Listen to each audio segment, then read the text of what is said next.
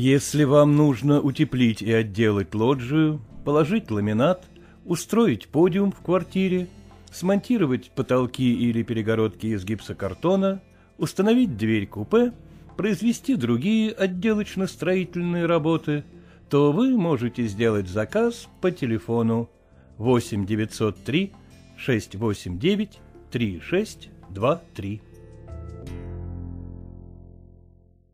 Николай Алексеевич Некрасов. Железная дорога. Читает Геннадий Постригайло.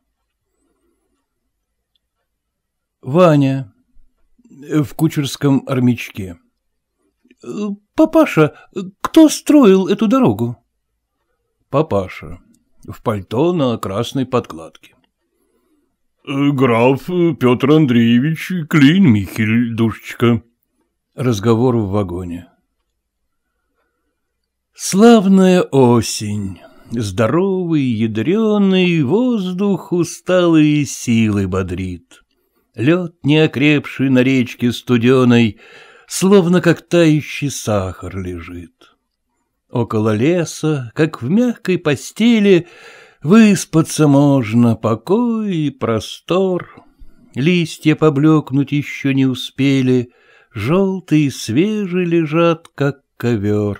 Славная осень, морозные ночи, Ясные тихие дни. Нет безобразия в природе, И кочи, и маховые болота, и пни. Все хорошо под сиянием лунным, Всюду родимую Русь узнаю. Быстро лечу я по рельсам чугунным, Думаю думу свою. Добрый папаша, к чему в обаянии умного Ваню держать? Вы мне позвольте при лунном сиянии правду ему показать. Труд этот, Ваня, был страшно громаден, не по плечу одному. В мире есть царь, этот царь беспощаден, голод название ему. Водит он армии, в море судами правит, в артели сгоняет людей, ходит за плугом, стоит за плечами каменотесцев, ткачей.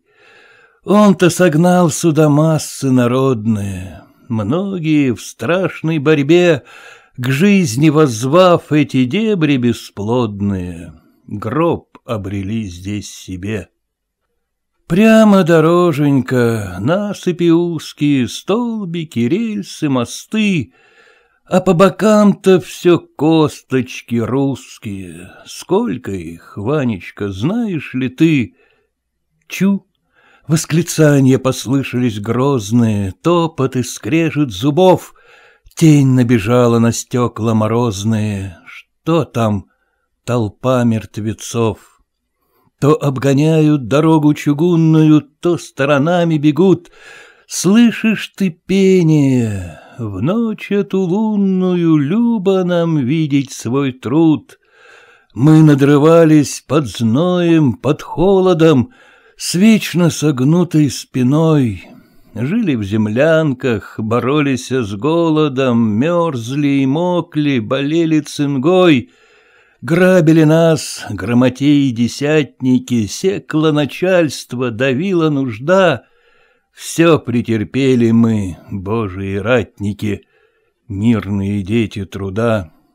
Братья, вы наши плоды пожинаете, нам же в земле истлевать суждено.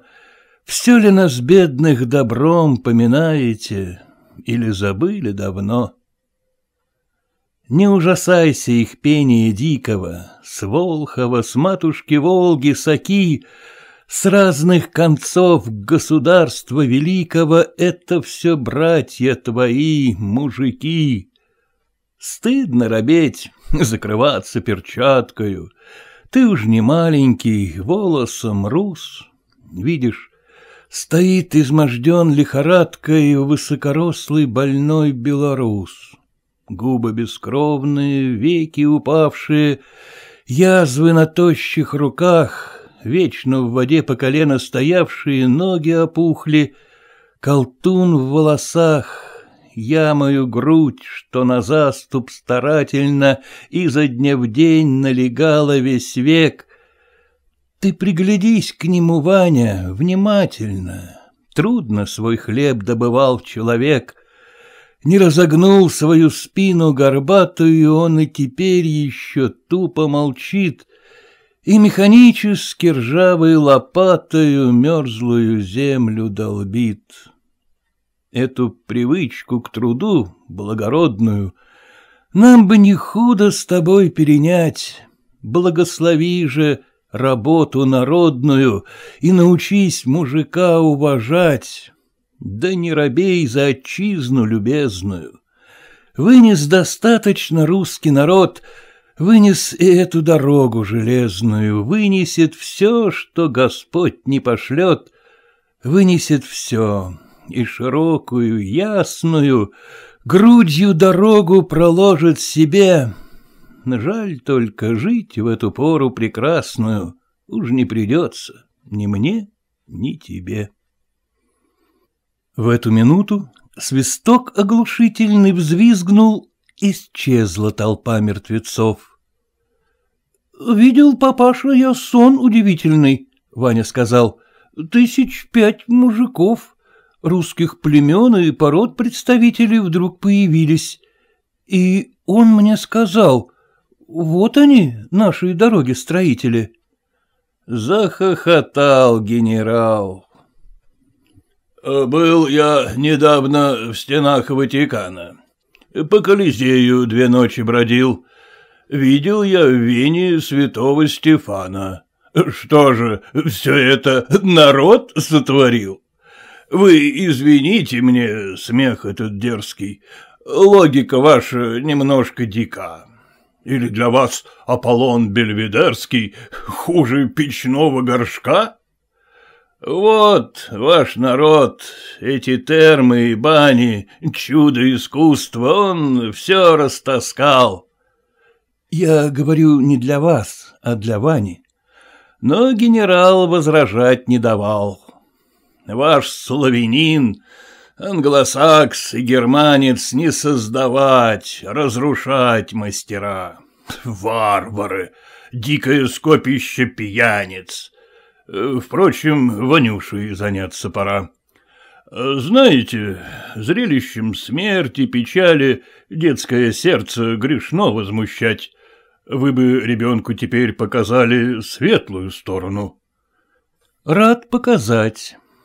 Э, слушай, мой милый, труды роковые кончены, немец уж рельсы кладет, Мертвые в землю зарыты, больные скрыты в землянках, рабочий народ тесной гурьбой у конторы собрался.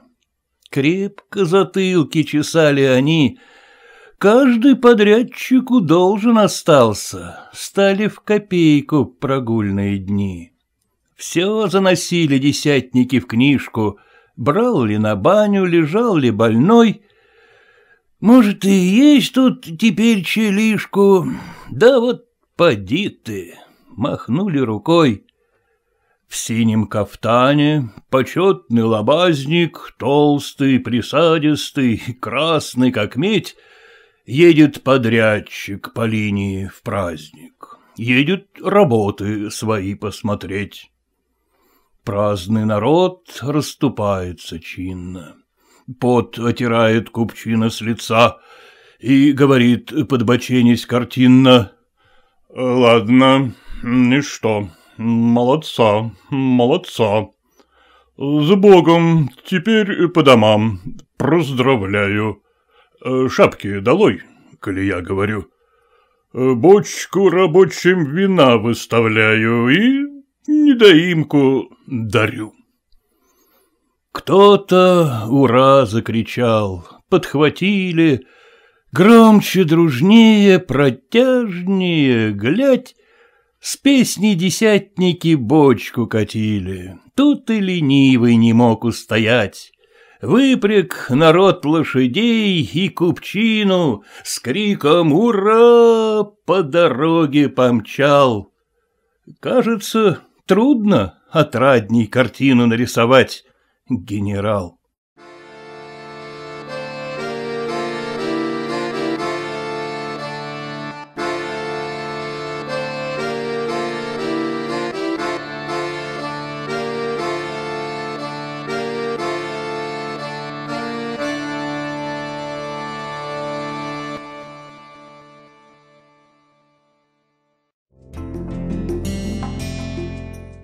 Если вам нужно утеплить и отделать лоджию, положить ламинат, устроить подиум в квартире, смонтировать потолки или перегородки из гипсокартона, установить дверь купе, произвести другие отделочно-строительные работы, то вы можете сделать заказ по телефону 8 903 689 3623.